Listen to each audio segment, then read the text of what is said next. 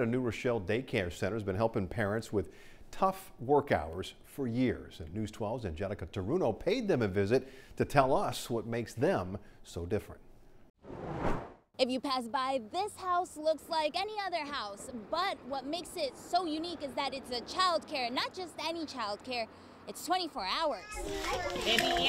Deloris Hogan started taking care of children 37 years ago after one mom really needed her help. She got into a bad car accident. She was in the hospital for about a month or two, and the child needed daycare overnight. It was that need that put her on track to officially opening up D's Tots Childcare. Next thing you know, people was knocking at my door. The service for through the night childcare was a game changer. Wait one block. Especially for hardworking parents like Marisol Valencia, who has leaned on Deloris and her staff for the past nine years. I was working, I have different schedules, I have multiple jobs, and it was very important that I had a um, a babysitter. The 24-hour childcare, providing her with one less thing to worry about. It was something off my shoulder because I know that my kids were in, in a good place. The families appreciate, you know, the sacrifices that we're making because we know they are making sacrifices to, you know,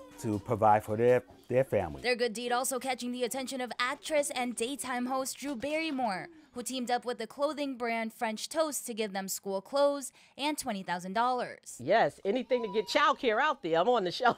The money is going towards opening up a second location in New Rochelle Angelica Taruno. News 12. Deloris says the new location will also be in New Rochelle, and they hope to have it open by March of next year.